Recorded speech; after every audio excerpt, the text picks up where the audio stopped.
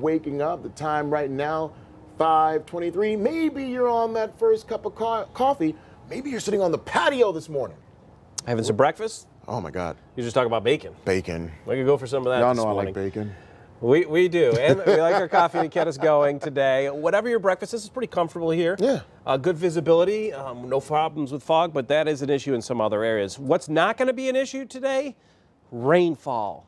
Yes, finally. We've been getting it every day. Yesterday, quarter of an inch of rain. That gets us up to almost four inches for July. You know, we're barely halfway into the month. That's two inches above average. That 10 inches since June 1st, that, my friends, more than five inches above average. High and dry. Also, service experts, live triple Doppler is going to stay that way all day long here in central New York. So there is a little issue with some patchy fog.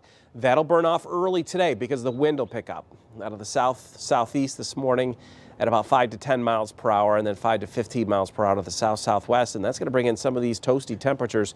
We had a front come through yesterday with the scattered showers, isolated thunderstorms, nothing severe locally.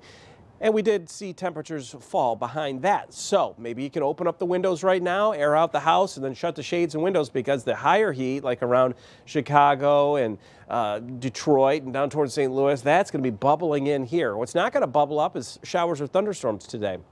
We're just going to see the temperature go up. We'll be climbing quickly into the middle 80s by the lunch hour with mostly sunny skies after that patchy fog burns off. And then blend of sun and clouds later in the afternoon with temperatures nearing 90. Notice nice and dry. There are some showers and thunderstorms with the next system starting to approach central New York during the evening. It'll be after midnight they arrive. And they actually weaken. So some scattered showers and isolated thunderstorms, especially Onondaga County north and west.